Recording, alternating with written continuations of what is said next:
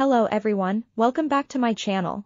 Today I have more unpopular K-pop opinions to spill, so let's get into it. K-pop stans never learn from past false bullying scandals whenever a new one drops. When Garam's bullying scandal came up, y'all were so quick to jump on her and brutally bully her until she got kicked out of LE SSERAFIM. But then when she was supposedly proven innocent, y'all started feeling sorry and saying that you should have heard both sides of the story and not jump to conclusions. This has happened multiple times and still, y'all don't learn anything. From T-ara to AOA to April, nobody learns anything from these scandals and still jump to attack idols that probably didn't do anything. All I'm gonna assume is that K-pop stans don't actually care about bullying scandals or about hearing both sides of the story and just want an excuse to drag idols to hell and back. Y'all really need to stop using idols like Hyuna and Taemin just to justify minors debuting in K-pop. Every idol who debuted as a minor have talked about how they regretted debuting so young and how they wish they were older when they debuted.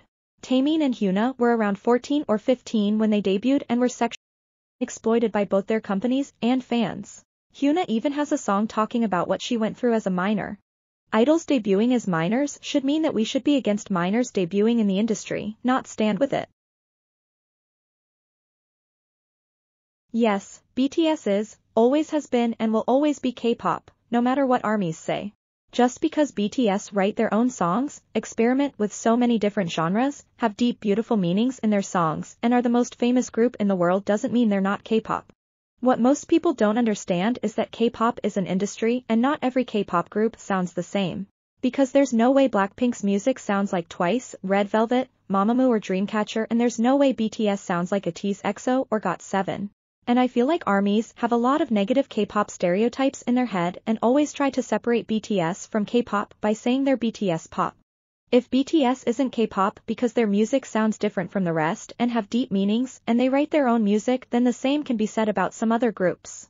But that isn't the case, BTS like a lot of K-pop groups still follow the usual K-pop formula at some point, if you only like BTS and not the rest of K-pop then that's fine. But to straight up say that they're not K-pop and are in a whole different industry is an exaggeration.